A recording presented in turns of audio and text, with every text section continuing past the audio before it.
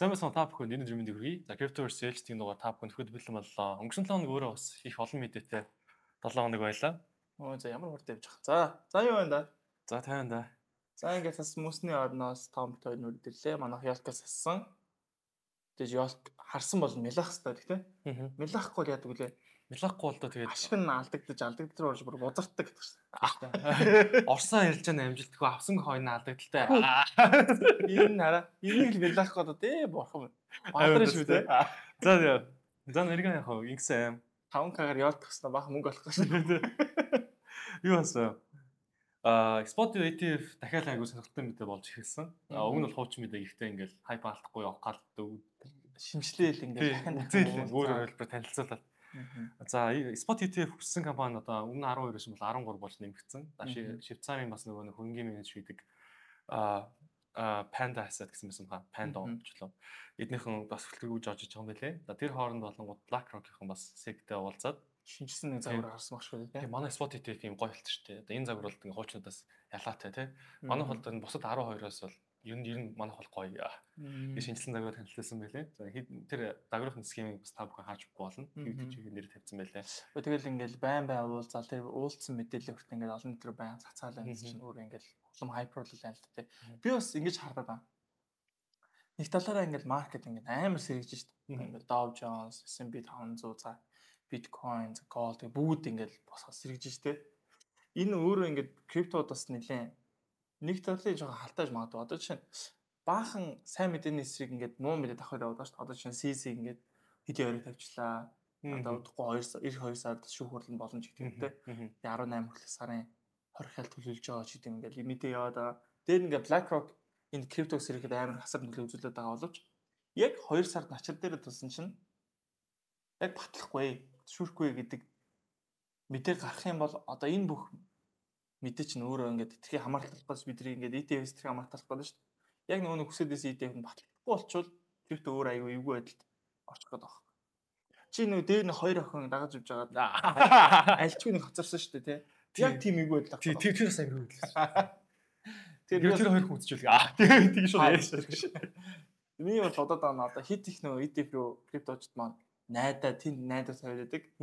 Тэр урсгал маань өөрөө байхгүй болчихвол яах вэ гэдэг юм жоохон эрсдэлтэй санагдаад. Би энэ одоо Binance-ыг одоо ингэж хаагдаж богдох маягаар нэлээд олон юм чинь Рональдог бас нэлээд бойкотлж эхэлж ийлээ. Тэгээ ингээд бас давхар давхар мэдээ байгаа учраас бас нэг жоохон эрсдэл менежменттэй нэг биржид бүх хөрөнгөө биш аль олон бирж хөрөнгөтэй хуваагаад ингээд нэг үгдэглээ.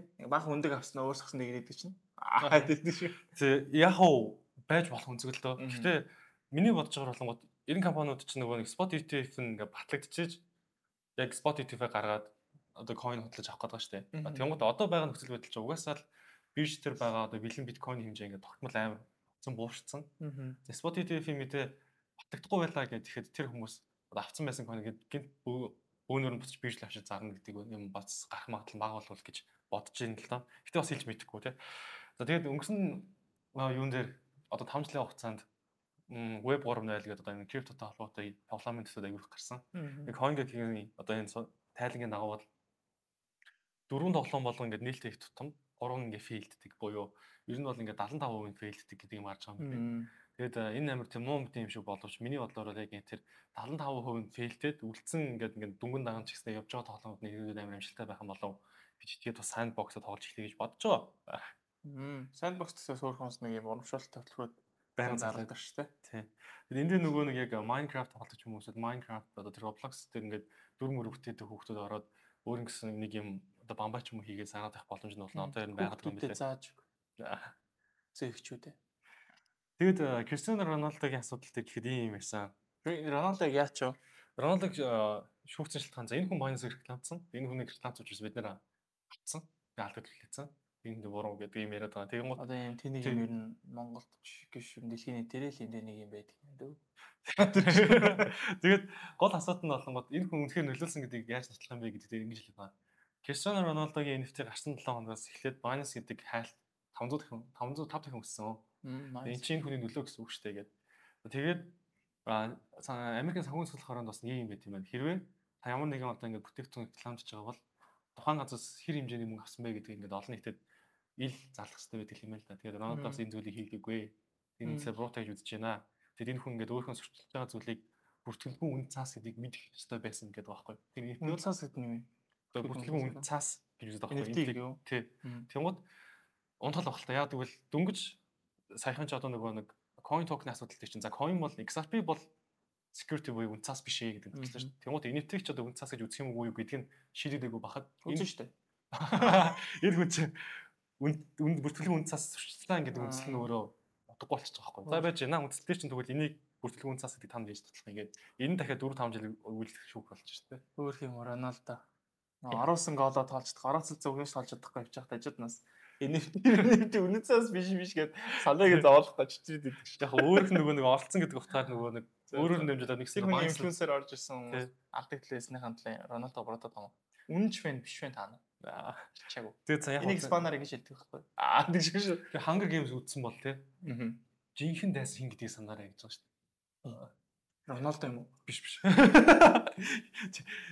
За за окей, Роналдогийн асуудал бол нэг тийм хайптай биш гэсэн зүгээр Роналдо байгаа учраас Дэмжүүлэл Байнсад ирж байгаа. Тэгээ далинд нь Байнс жоохон муулаад байгаа гэсэн.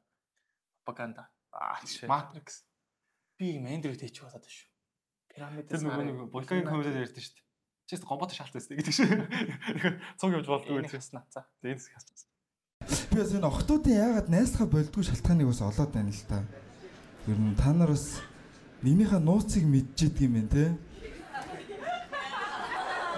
Би чамтай найзлахаа боллоо гэж олж гомбот шаалцсан. Тэгээд те шууд яриа те шууд амар юмнууд гарч ирэн те. Наач ч бодор гэж юм чи. Тэгэл бүр амар яригдэн те бүр найзлахаа болж болохгүй те твчих өстой те найзаа гэдэг. Яасан. Тэгээд бас нэг хөнгө голтын сэлбэрс айгу том Чарли Мөнгөр гэдэг юм бас мөнгөсөн утсан байгаа. Warren Buffett-ийн амдрагч байгаа. Тийм Berkshire Hathaway тэр хүний одоо net worth март нь 2.6 тэрбум гэдэг хаа хувийн. Тэгээ ямар ч байсан энэ хүний нөгөө хөнгө голтонд ашигладаг нэг тийм гоочлол гэх юм уу үүд юм байна. Тэр болгонд хувьцааг ингээд судалж явах та за за энэ бол миний авах хувьцаа. Энэ бол миний авахгүй хувьцаа. За энэ бол миний ойлгохгүй хувьцаа гэж ингээл тийм байна. Тэгээд нөгөө ойлгох тэтгэх төвхтэй хувьцаагаа бас олддог. За энийг бол угсаа авахгүй гэдэг үндслээ бол тодорхой байдаг. За авах хувьцаа нь одоо бас тодорхой байдаг. Гэхдээ авах хувьцаа гэдэг нь бол бүрэн ойлгосон хувьцаа гэсэн үг бол бас биш биш шүү дээ тийм. Одоо нэгсэндээ биткойн бол хүмүүс ашиглах юм байна. Захта цаана одоо proof of work гэдэг системийг сайн ойлгохгүй ч гэсэндээ энэ болонгууд ирээдүйд нэг хөнгөн одоо хөнгө болтын салбар одоо бүтээгдэхүүн болох юм байна гэдгийг ойлгоцсон бол хөрөнгө оруулах бүтээгдэхүүн гэдэг бүлэмжшүүлсэн хувьцааны тооны доорлох ч юм уу те. Гэх маягаар энийг ч гэсэндээ хэдүүлээ coin дээр ашиглавал бас зүгээр хэрэгтэй болов гэж бодож байна. Сүүлийн хашаа нөгөө нэг coin-ын гарч байгаа coin-ын тоод нэг ихтгэх болсон. Заримдаа нөгөө бидний унших хурд хүртэл гүйцэтгэх болчиход байгаа. Би уншдаг шүү дээ. Тийш. Яг тэгээд категорилч амар л байна. Заавал нэг ойлгох proof work гэдэг нэ proof of гэдэг баах юм шүү дээ. Тэгээд хийсэн босын шин шин уушаа. Тэр нь бүгдийн ялдаад шаардлага завка би нэг ойлгох шаардлага ойлгож байгаа гэдэг өрөнгө оруулчих тийм. Ингээд амарчлаад өөртөө амар хэлбэр аваа судалж үзвэл Тийм шүү. За тэгээ CC бол хэлний ойрог тавиулсан ойлгомжтой араб гэр бүл нөгөө гэхдээ гэр бүлтэй очиж уулзах боломжтой болсон байгаа. Би араб явж гэр бүлтэй уулзсан. Аа тий да. Тэгээд Richard Tang гэдэг шинэ CEO нь болонгод өөрийнхөө анхны блогыг оруулсан байсан. Одоо бичвэрийг гэх юм уу. Тэн дээр болонгод Binance бол 160 сая гаруй хэрэглэгчтэй. За хэрэглэгчдийн бүх хөрөнгө бол нэг харьцах нэг харьцаагаар баталгаажсан байгаа санаа зовлтгүй. Ирээдүйд бид нар гоё юм инэ гэсэн зүйлийг гаргаж бичсэн байлээ. За ингээд ерөөдөө нөгөө нэг хил амт авж ивтэй мэдээнүүд дууссан. За миний та бүхэнд танилцуулах нэг хідэн төсөл байгаа. За хэрвээ та ямар нэгэн байдлаар P2P-гээр арилжаа хийдэг ч юм уу одоо мерчант болж байгаа эсвэл өөр бичтер байгаа одоо нөгөө тетийн зүгнээс ашиг хийдэг бол та бүхэн off-ramp off-ramp XYZ-гээ сайтыг тушаад үзээрэй. Эдгээр болонгууд юу яадаг а DeFi дансыг одоо MetaMask-тай баг мөнгөж шууд юутай банкны данслуудыг шилжүүлж өгдөг тийм үйлчлэл үзүүлэлт юм байлээ. За хэрвээ та Visa карт бол MetaMask-аас бас шууд аваад зарж болох л доо. Тэгээ зүгээр сонирхолтой бол болов гэдэг үднээс off-ramp-ыг бас мэдхгүй хүмүүс нь тушаад үзээрэй гэж хэлье. За өөр airdrop хийх гэх нь бас нэг тодорхой байгаа төслүүдийн нэг гэх юм бол Polyhedra гэдэг төсөл байгаа. За эднийхээ яагаад онцолж байна вэ гэхээр Binance Labs, Polychain, Galaxy, Animoca, KuCoin гэдэг гайгүй газар хөнгө оролцсон. Тэгээ нийт 25 сая доллар босгосон учраас тэгээ эднийх болонгууд ZKB гэдэг coin бол гарах нь тодорхой болсон байгаа. Тэгээд юу токен NFT-г одоо юм биш те. Тийм, токен NFT-г одоо ингээд Ethereum сүлжээнээс Arbitrum одоо Polygon шиг мөн ингээд 20 гаруй сүлжээлээ ингээд нааш цааш нь явуулах боломжтой болж байгаа. Бриджлэх боломжтой төсөл юм байлээ. Тэгээд airdrop хамтрах нь бол ерөөдөө эдийн сайтлаа Polyedge гэдэг сайтлаар ороод өөрсдөө NFT хийх тэгээ токен иштэйшн сүлжээ орно бridge хийх Galaxy дээр байх даалгаврууд нь хийх гэсэн юмнууд байгаад байгаа. Тэгээд энийг сонирхож даалгавар нь хийж төлөх сонирхолтой байх болов уу гэж хэлцүүлж байгаа. За дараагийн төсөл болонгууд энэ бол би аав гэдэг үгдэн санацуулж байгаа юм шүү. Зүгээр зар гэдэг үгдэн санацуулж. Евро байгаа бол зар. Санаа нь сонирхолтой байж магадгүй ч юм бид нар хийж болох боломжтой юм шиг санагдсан. Аа энэ нэг agro token гэдэг төсөл байгаа даа. За эдний болонгууд юугаар үр тариагаар баталгаажсан stable coin бид концепт танилцуулаад байгаа. Аа тэгээд хэрвээ одоо нэг тариаланчд маань шууд ургацаа хоронгуудаа энийг тэрийг одоо эднийд шалгуулад токенжуулж аваад тэнгуүтэ тэр токенжуулалтаараа тоон тохиромж худалдаж авах юм уу эсвэл шууд хөрөнгө мөнгө болоод тэрийг дахиад дараагийн одоо тариа буудандаа ч юм оруулах юм боломжууд нэгдэх юм байна. За тэгээд Тэгээд одоо энэ концепт нь болонгууд одоо байгаа stable coin-ууд болонгууд мөнгөөр баталгаажсан stable coin буюу одоо Tether, USDC, Gemini dollar энэ төр байна. За криптогоор баталгаажсан coin гэдэг юм бол Maker, BitUSD одоо мэтлэн. За үр тариагаар баталгаажсан гадхан ганцхан эднийх юм байна. Тэгээд stable coin гадна Soya token, Toro token, Wheat token гэдэг одоо ямар төрлийн урс орсон мэй гэдгийг шалтгаалаад өөр өөр coin-ууд ингэж авч болдог ийм төсөл байгаа юм байна. Тэгээд үр тариагаа шууд нөгөө нэг зарах удаан процессны явцад бас муудад суудах юм гарч ирдэг юм байл. Тэр болгоноос ингэ сэргийлэх боломжийг олгож өгдөг. Давхар шууд тэрийг одоо ингэ санхүү хэрэглэлд нь оруулах боломжийг олгож байгаа гэдгээрээ давуу талтай гэж ярьж байгаа юм. So stable coins энэ BUSD яагаад suspend болчих вэ? Эднийх эдний асуудал бол нөгөө юу хасан? А SEC нөгөө нэг Paxos-тэй асуудал байгаа шүү дээ. BUSD дахиж mint хийж болохгүй шүү. Бид нь шалганаа гэдэг зүйл ярьсан байгаа. Тэгээ тэгэн гут ерөөдөө BUSD-гээ болоод FUSD гэдэг одоо Binance дээр шууд солиод эхэлсэн байгаа шүү дээ. Тэрнгээр солиод BUSD-г хэрэгжилсэн мэт одоо FUSD гэдгийг ашиглаад арилж явах юм дээ. За Монголоор сонирхолтой зүйлх юм бол за саний чиний airdrop-тай холбоотой юм бол Ardmani гэдэг дээр airdrop-ийн ажиллагаа явуулж байгаа юм лээ. Тэгээ airdrop-ыг юу нь яаж авах вэ гэхээр тухайн сүлжээг ашиглаад хооронд нь stake ч юм уу те хийх quest earn гэж үлгэдэ хэлдэг. Тэгээ Ardmani дээр тиймэрхүү үйл ажиллагаа байгаа. Та нэг coin-ийг нөгөө coin-оор солих. Яг тэр сүлжээ хоорондыг нь ашиглаад яваад авах юм бол тодорхой хэмжээний points өглөө. За оны эцэг дөрөв сая төгрөгийн шагналтай юм руу тэмцээн нэгтэлтэй явж байна. За нөгөө талдаа хэм бол Lex method дээр features арилжаа нэгтсэн байлаа. Тэгээд 125 хүртэл leverage ашиглах боломжтой учраас а яг л гадны Binance-аас liquidity-г авч авч нөгөө хөрөг чадвар асуудал ахгүй. Асуудалгүй захиалга биелээ зарагдаад худалдаа хотод нь хийгээд яваад ах юм байлээ. За бас сонирхолтой зүйл чи ч одоо Монгол улсын сагсан буюу сонирхолтой юм шүү дээ. Altex биш нөгөө Brothers гэдэг багтай юм байлээ. Тэгээ нэг сонирхолтой надад байгаа сайн нөгөө а Brothers баг тоглож байгаа тоглогчдоос оноо авах болгонд нэг оноогийн 1 USDT-гээр үнэлж байгаа юм байна. Тэгэхээр 1 долларлаа гээд 3500 төгрөг хэрэгтэй болох нь шүү дээ. Тийм. Тийм шүү дээ. Тэгэхээр нэлээ саксус нэлээ гоё болж эхэлж байна. Тэгээд сакс руу бас крипто руу нэлээ нэлээ хөрөнгө орлоод орж байгаа. Гадныхан ч гэсэн өмдөгдөг шүү дээ. Нэлээ криптоцик. Одоо криптоцик.com arena гэж байгаа шүү дээ. Тийм тий. Тэгэхээр Монгол улс TX arena гэж байлаа. Маяа. Тэр нь бас шинэ ном болж байгаа юм чинь нэг хүмүүстэй нэг зориулгаа би Томи цалингаас нэг 1000 доллар татаад хүмүүс нэг арилжааны тэнцээ зохион болгож байгаа. Тэр нь яг өөр та XM брокер дээр манай линк гаргаж бүртгэл үүсгээд байж байгаараа за би ямарсан нэг 12 сарын гарцсан учраас нэг 12 сарын одоо дараа 7 хоногт нэг арилжааны тэнцээ зохион байгуулад нэг 14 оны ч юм уу те тэрийг бодож байгаа шийднэ. Тэгээд ямарсан хамгийн өндөр ашиг хийсэн 3 хэлэгчд 1000 доллар баад баад өчтөй юм уу гэснийг бодлоо. Тэгэхээр та бүхэн үзэж байгаа бол XM дээр доор байгаа линкээр бүртгэл үүсгээрээ тэгээд гадаад биржтэй бол Монгол брокер Монгол бирж дээр фьючерс арилж явах ерөнхийдөө боломжууд нэгтсэн байна. Дээрнээс Монгол airdrop-ууд явж байгаа учраас airdrop олцох боломжтой. Аа. Тэгээд ганц би ихчтэй хүн байвал тонтоос танилцуулмаар байна. За ингээд техник анализын бодлого шууд орцгоо. За. За ингээд техник шинжилгээний болно тавтай морил. За техник шинжилгээнд бас гоё туршилт хийх нөхцөл бүрдсэн байлаа. Тэр нь юу вэ гэхээр Michael Saylor MicroStrategy нэмээд 16000 гаруй биткойн авсан байлээ. За тэгээд энэ мэдээд нэр шорт орохлоор сайн явдаг гэдэг нэг яриа байгаад байдаг. За тэгвэл одоогийн байдлаар л өсөөд тах шүү нэ. Одоо сайлар ах маань аюу зүм мэдээгдэх болсон шүү. Одоо намайг авахлаа дагаад ав гэдэг. За хэдүүлээ яарсан тоотлоо хоёр дээр иймэрхүү нэг тааз нэрээ толцсон гэдэг. За үүнээс хойш одоо хичнээн өдөр болоо хичнээн удаа шалгалтын хөдөлгөөн ирээд орж ирээд аг харж байна те. За одоо ингэ харах юм бол одоогийн байдлаар нийт 21 өдрийн турш яг энэ таа гэсэн бүс дээрээ шалгаад унаад шалгаж унаад шалгаж унаад нэлээ олон удаагийн шалгах суудатай хөдөлгөөнд орж ирсэн байна. Одоо ч гэсэн дээшээ тэмүүлээд за энэ яг 667 биллион гэдэг яг энэ төвшин дээр ирэхэд ирээд байж байна. Тотал 2-ын хувьд бол тотал 2-ын яагаад хараад нэхэр альткойны сизнээ зэрхүүгээр за энийг дэшээ сэтрээд Straight дэжгүй pullback ороод ирэх юм бол altcoin season бол нэлийн дэжгүй яваад ах магадaltaй болоо гэсэн бодолтой бол байгаад байгаа. За энэ дээр Twitter дээр оруулсан таамаг. За би нэг ингэж оруулсан юм аа. За чар. Нэг яаж оруулсан бэ гэхээр За шууд өсөж байгаа хөдөлгөөн дээр шууд унал тарахаар аюу хэцүү.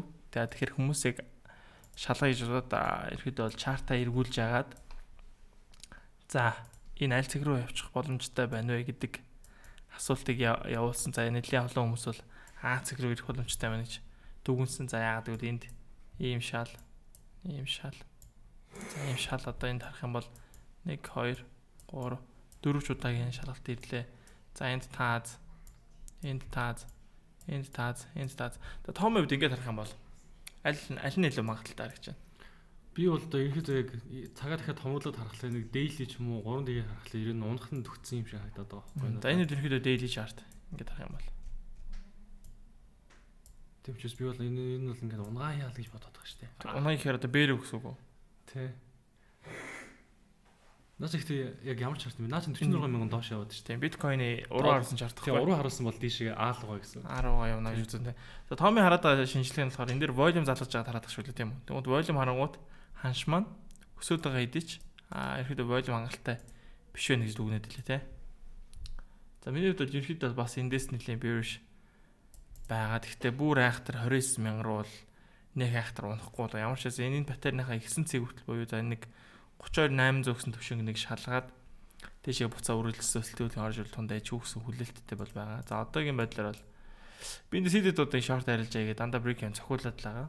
За тэгэхээр одоо 15-аар оруулж агаад юу харах вэ гэхээр за энэ сайн дэш стдэг хөтэн дэш стэрсэн. За энэ хавьд ирээд price action дасгүй энэ цэгээс дэшээ гарч чадахгүй эндээсээ эндээсээ нэг юм хэд унж болсон хөдөлгөөн хийгээд эндээс нэг иймэрхүү доош стратеги паттерн үүсэх юм бол за энэ маань өөрөө ингэ харах юм бол энд нэг иймэрхүү паттерн үүсэж магадгүй нэ. За ингээд ингээд явчвал стрэлтэн дээр нь хэлээд жоохон шорт арилжаа харъясан бодолтой. За бусдаар бол шууд лонг арилжааг бол нэлийн хүлээж байгаа дэжгүй паттерн 4 цаг дээр хүлээж аваад ерөөдөө оролт хийсэн бодолтой бол байгаад байгаа гэсэн үг.